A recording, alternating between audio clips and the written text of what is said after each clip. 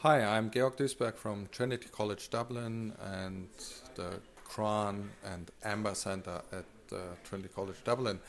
We work on two-dimensional materials like graphene and transition metal dichalcogenides. We grow them by CVD, a technique which is compatible with silicon or uh, silicon or semiconductor production technologies.